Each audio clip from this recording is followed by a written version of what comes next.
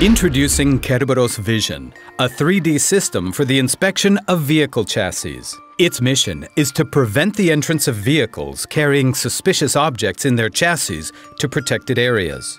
Kerberos Vision allows you to automatically detect possible sabotage or terrorist attack, as well as different forms of spy equipment. See for yourself how effective Kerberos Vision is. Up to 10 vehicles per minute are expected to go through this gate, which leads into a strategically important building.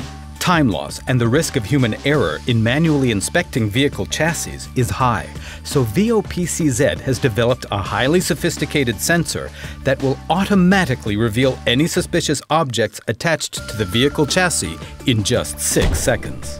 Yes, this chassis has something that should not be there, the security of this building is alerted immediately by Kerberos Vision. Now, have a look at how Kerberos Vision works.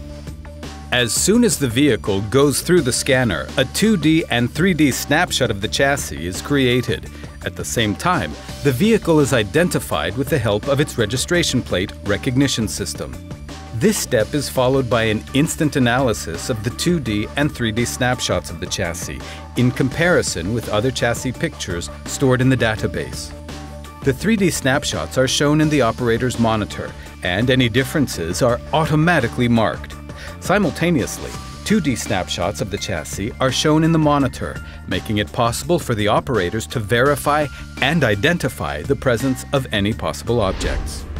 The installation of the Kerberos Vision system consists of a fixed frame located in the mounting pit and used to store the scanning unit. Special LED lights designed to light up the whole vehicle chassis. The LED lights are located on the surface of the fixed frame.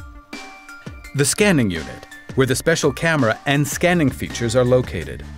The handling computers and software, which evaluate the acquired data and other accessories, including the license plate recognition system, an external scanning feature, the display panel system. Kerberos Vision guarantees transit and control of up to 10 vehicles per minute. Its installation is suitable for securing strategic facilities such as government and military buildings, power plants, chemical plants, airports, shopping centers, underground garages, and the like. The Kerberos Vision System is developed and delivered by VOPCZ, which has been focused on the development of security and defense solutions for over 30 years.